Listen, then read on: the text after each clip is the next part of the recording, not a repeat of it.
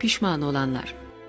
O zaman bu sefere özürsüz katılmamış olanlar pek çok pişman oldular. Hatta içlerinden Ebu Lübabe gibi bazı asap söyleyecek söz bulamayıp kendi kendilerini Mescid-i Şerif'in direklerine bağladılar ve gece gündüz ağladılar. Bunlardan Ka'b bin Malik, Mürare bin Rebi ve Hilal bin Ümeyye peygamberin huzuruna gelip af dilediler. Resul-i Ekrem ise halkı onlarla temastan ve görüşmekten men etti. Üçü de birer köşeye çekildiler ve 50 gün halk ile görüşmekten mahrum kaldılar. Bu surette dünya başlarına zindan oldu.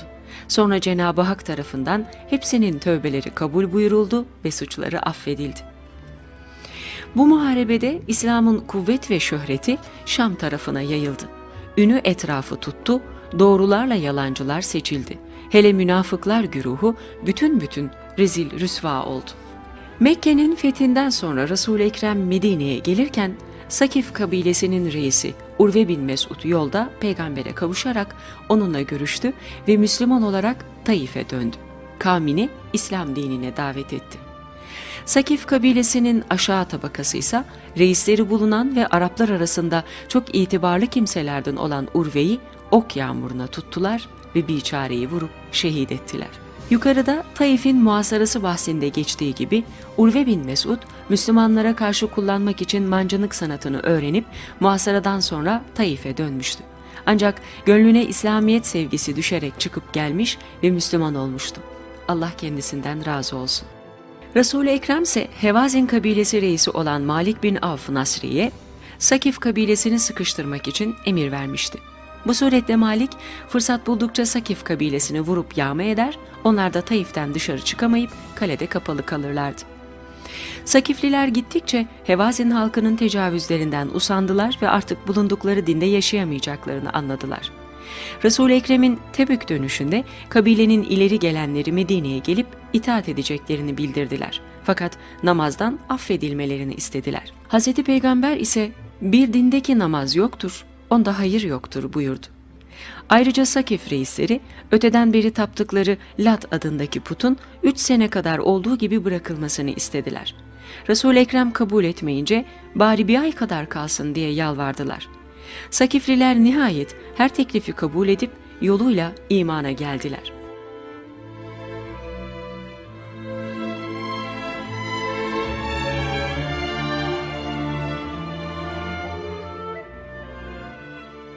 Bunun üzerine Resul-i Ekrem, Lat adındaki putu yıkmak için Harp bin Ebu Sufyan'la Mugire bin Şube-i Sakafi'yi Taif'e gönderdi. Onlar da gidip putu kırarak yok ettiler.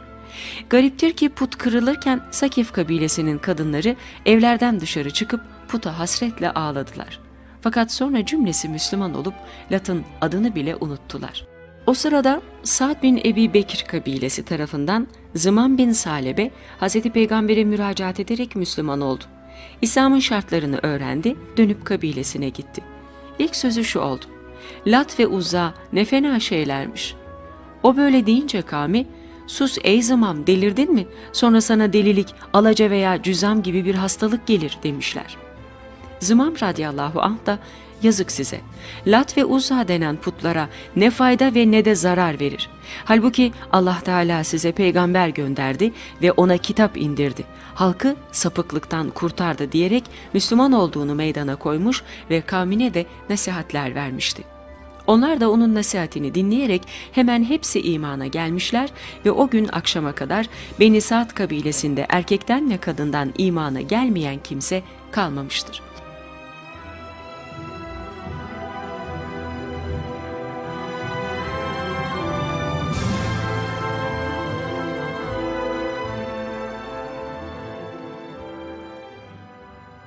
Necaşi'nin vefatı Resul-i Ekrem Recep ayı içinde bir gün Necaşi'nin yani Habeş hükümdarı olan Aşeme'nin vefatını haber verdi ve asabı ile birlikte onun cenaze namazını kıldı.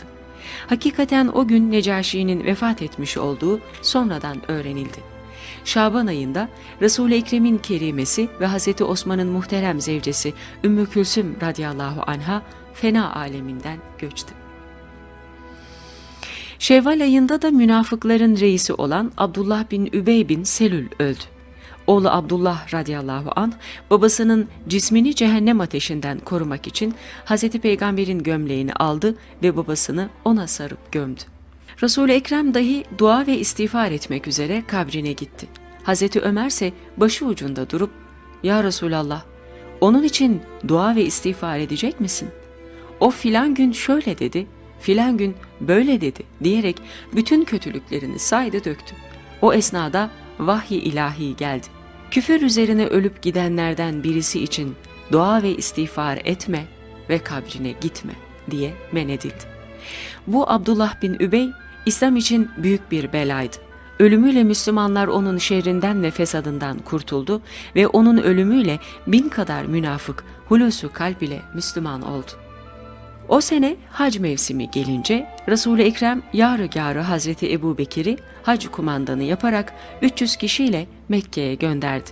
Sonra hacılara Bera suresini okumak ve bu seneden sonra müşrikler Mescid-i Haram'a yaklaşmamak ve çıplak olarak hiç kimse Beytullah'ı tavaf etmemek gibi hususları halka bildirmek için Hz. Ali'yi de hususi memuriyetle arkadan gönderdi. Mekke'ye vardıklarında durak yerlerinde hutbeleri Hz. Ebu Bekir okudu ve halka hac usullerini öğretti. Müslümanlar da o suretle hac ettiler. İmana gelmeyen kafirlerse cahiliyet devrindeki adetleri gibi hac ettiler. Hz. Ali ise halka Bera suresini okudu ve Kurban Bayramı günü bu seneden sonra müşrikler hac etmesin ve çıplak kimse Beytullah'ı tavaf etmesin. Resulullah'la sözleşmesi olanlarla günü gelinceye kadar sözleşmeye uyulacaktır diye halka seslendi. Müşrikler birbirlerine atıp tuttular. İşte Kureyş Müslüman oldu, siz ne yapacaksınız dediler. Nihayet onlar da iman ettiler. Kureyş taifesi Hz. İbrahim aleyhisselamın oğlu İsmail aleyhisselam zürriyetinden ve haremi şerifin asıl ahalisindendiler. Öteki Arap kabileleri hiçbir vakit onların bu üstünlüğünü ve şerefini inkar etmezlerdi. Resul-i Ekrem'e harp açanlar Kureyş kabilesiydi. Öteki kabileler işin sonunu beklerlerdi. Mekke fetholunup da Kureyşliler imana gelince İslam'ın heybeti her tarafı kapladı ve Arap kabilelerinden peyderpey elçiler ve mebuslar gelip gitmeye başladı. Her ne vakit bir elçi gelse Resul-i Ekrem elbisesinin en iyisini giyer, elçiye mümkün olduğu kadar güler yüzle ikram eder ve herkesin halu şanına ve her kabilenin adet ve töresine göre söz söylerdi.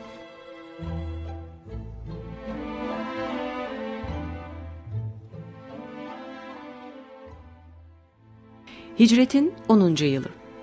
Yeni sene girdikten sonra Medine'ye elçiler ve temsilciler gelip gitmeye devam etti. Bahreyn taraflarında oturan ve Abdülkays denen büyük kabileden 16 kişi geldi ki bunların arasında bir Hristiyan keşişi olan meşhur Carut da vardı.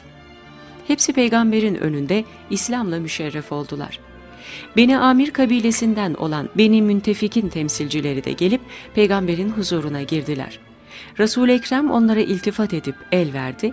Onlar da Resul-i Ekrem'in mübarek elini tutup biat ettiler ve Müslüman olduktan sonra dönüp kabilelerine gittiler.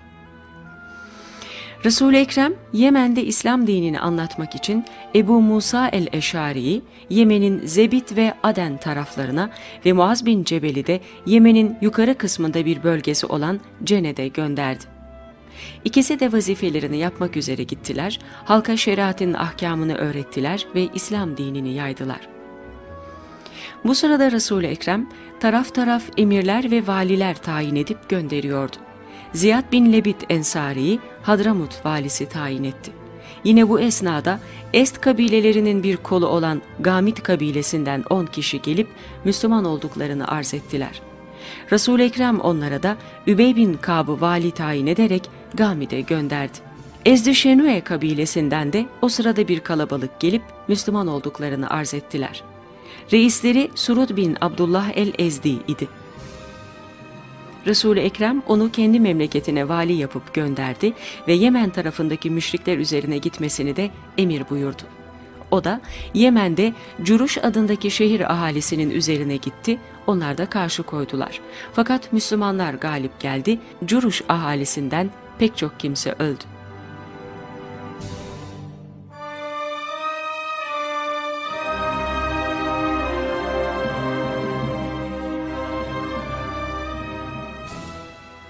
Curuşlular O sırada Curuş ahalisinden Medine-i Münevvere'ye iki kişi gelmişti.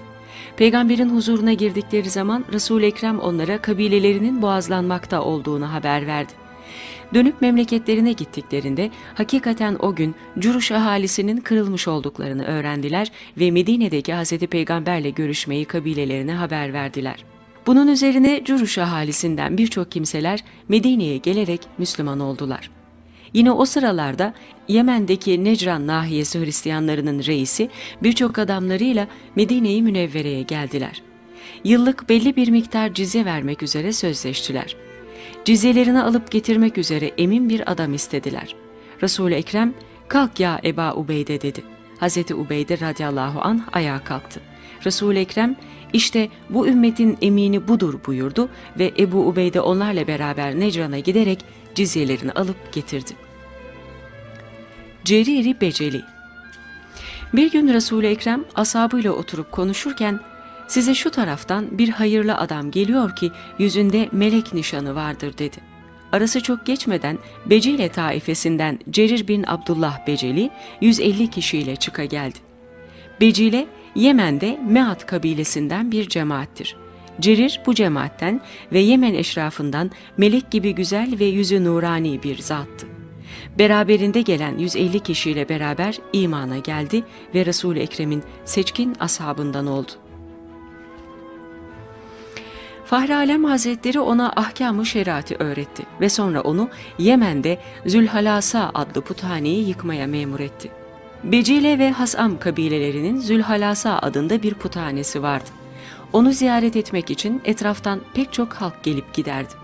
Arabistan'da onun gibi küfür alametlerinin hepsi yok edilmişken Yemen'de o puthanenin olduğu gibi kalması doğru olmadığından Resul-i Ekrem onu yıkmak için Ceriri Beceli Hazretlerini o tarafa gönderdi. Hazreti Cerir de 150 atlıyla gidip o puthaneyi yıktı, içindeki putu kırdı ve Medine'ye döndü. Daha sonra Resul-i Ekrem Hazreti Cerir'i Yemen emirleri Zülkela ile Zu Amr Himyeri'ye gönderdi. O da gidip onları İslam dinine davet etti. İkisi de imana geldiler. Zülkela kendisinin cahiliyet devrindeki günahlarına kefaret olmak üzere 4000 köle azat etmiştir.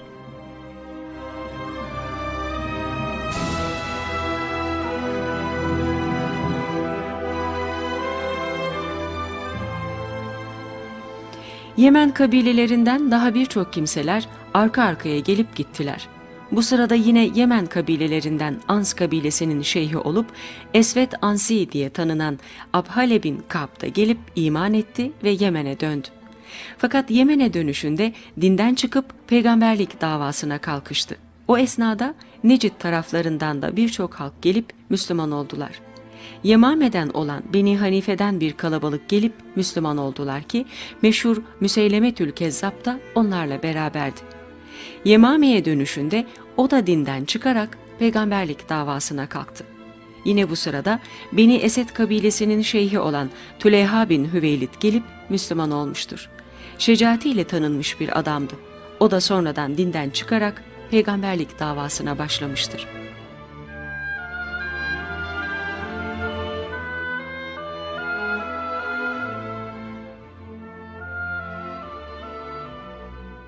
Evvelin içinde Hazreti Halid bin Velid bir fırka askerle Necran tarafına gönderildi. Sonra Hazreti Ali de 300 atlıyla o tarafa gitti ve halkı İslam dinine davet etti. Yemen ahalisinin çoğu Hazreti Ali'nin davetini kabul ettiler. Hatta Yemen'deki Hemedan şehrinin ahalisi hep beraber bir günde iman etmişlerdir. Öteki Yemen kabileleri de bölük bölük gelip iman etmeye başladılar.'' Buna dair Hz. Ali'nin mektubu gelince Resul-i Ekrem çok memnun olarak Cenab-ı Hakk'ın lütfuna şükretmek için secdeye vardı ve Hz. Ali'nin artık dönmesi için haber gönderdi.